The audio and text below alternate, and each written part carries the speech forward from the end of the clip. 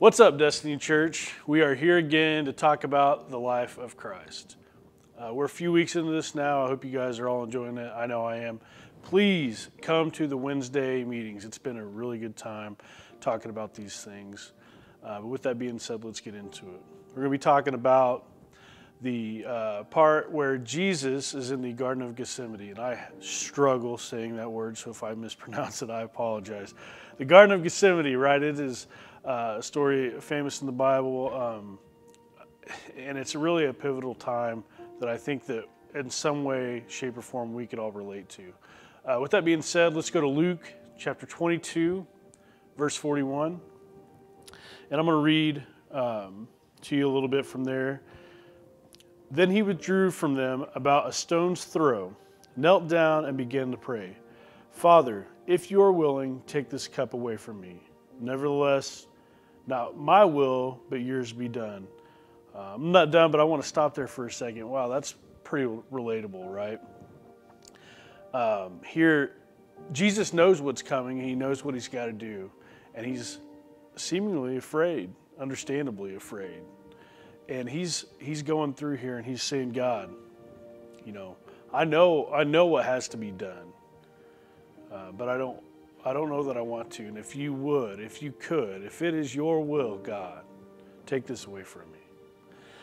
And we go on, and he says, Then an angel from heaven appeared to him, strengthening him. Man, Jesus needs strengthened. That's incredible to think about. You, you think about the verse before where he's he's telling God, if it's not your will, please take this away. And then God gives him strength, sends an angel down, gives him strength. Being in anguish, he prayed more fervently, and his sweat became like drops of blood falling to the ground. When he got up from prayer, he came to the disciples. He found them sleeping, exhausted from their grief. Why are you sleeping? He asked them. Get up and pray so that you don't enter into temptation. You know, there's really two things that you can draw from that, or a lot of things really, but two things that we're going to talk about that you can draw from that. One, it's the undeniable gift that God gives us, His grace and salvation. And He did something that we couldn't do, right? We need, the, re- the whole reason we need God is because if you think about it, people, us as people, we're all wicked individuals. We all have our struggles that we deal with that make us fall short of the glory of God. And Jesus here is afraid, but he knows what's got to be done. He steps up to the plate and takes on the brunt of our punishment so that we could enter into eternal life. And then, second, is man, we got to be on guard.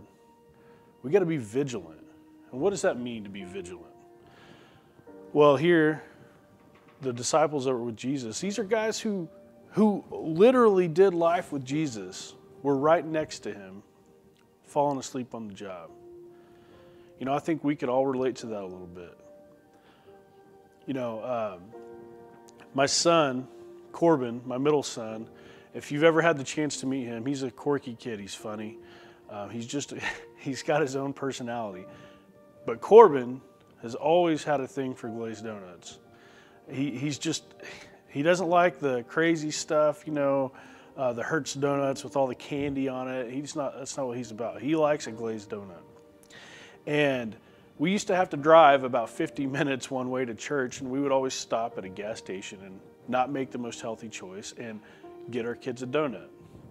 And there's this time when Corbin was about four or five years old, and uh, we go up to get some donuts, and uh, lo and behold, the lady in front of us takes literally all the donuts, every single donut in the case. And, you know, I'm a little let down thinking, what am I going to do? My son, who is kind of temperamental, anyways, has just taken, had all of his donuts taken away. But I look down and he's got tears running down his face, but he's not really made a scene or nothing like that. And I say, Son, what's wrong? And he goes, At the top of his lungs, the big lady took all the donuts. And, while I was mortified, uh, everyone in the gas station heard, you know, Uh, it was terribly embarrassing. The lady was gracious to us, and and she laughed, and and she moved to the side, and thankfully they slid in another another uh, pan of donuts, if you will, another pan of donuts, and she said, "There's more right up here, buddy." Had he just gotten mad and stormed off, or not paid any attention, or was just lackadaisical and didn't have a clue what was going on, like the rest of us sometimes could be, he wouldn't have known, I wouldn't have known that there was something up there for us. There was something up there for him to get. And this is kind of like these guys here. If we're all lackadaisical in our faith, we, we may not realize that what we need, God's salvation, God's grace, is right in front of us. We may, just like me and him, we may be in the same building as the donuts and not know they're there, right? I know that's a terrible comparison, but it, really is, stick with me here, it really is functional in this situation we could be in the same building, the church building, as God's grace and forgiveness and not really get a hold of it, not really take our own piece of it. So that's what I got for you guys today. We'll see you later.